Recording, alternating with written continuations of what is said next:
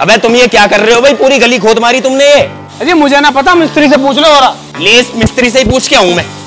हाँ भाई मिस्त्री ये क्या कर रहा तू? पूरी गली खोद मारी तूने। अरे बाबूजी कनेक्शन कर रहे हैं अंडरग्राउंड अंडरग्राउंड किस चीज़ का कनेक्शन भाई? आओ समझा देता हूँ। ये देखो ये तीन पाइप डालने हैं हम। ये पाइप तो हो गया आपका मीठे पानी का।